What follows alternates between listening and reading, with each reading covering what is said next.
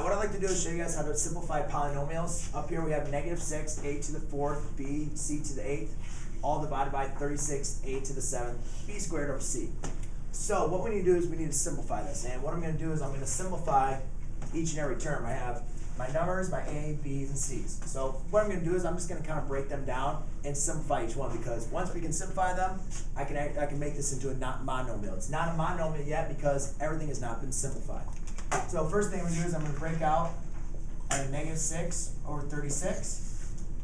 I have an a to the fourth over a to the seventh. I have a b over b squared, and I have a c over c to the first power. So what I want to do is I want to see if I can reduce these using my um, powers of exponents.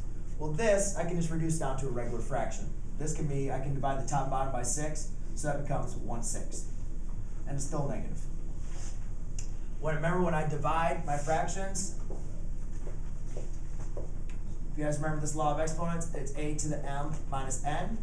So I'm going to do 4 minus a to the 7th, and that's going to give me um, a to the negative 3.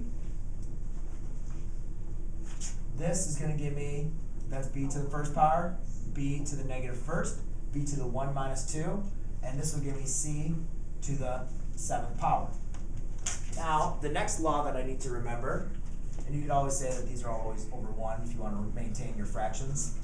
Now, the next law I need to remember is a to the negative m is equivalent to 1 over a to the m. So, when I have a negative exponent, that's actually under 1.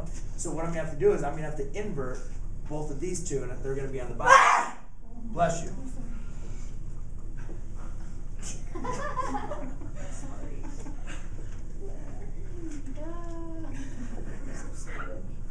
Okay? So now, since I have each individual little fractions, now I can just combine them back into one whole polynomial. Do I need to really re- write all these ones? Because they're just all multiplied together, right? This is all multiplied together. These are still just multiplied together, but I'm separating them out. So really, the only thing on top is c to the 7th. And now on bottom, and we'll just write a negative. And on bottom, I have 6 times a to the third times b. And times 1, but we don't need to write that. So 6 a to the third times b. Now, I have everything simplified, so now this is what we call a monomial. It has multiple terms inside the monomial, but there's no addition or subtraction separating terms, so it is a complete monomial, everything simplified. So that is how you simplify polynomials using operations of powers.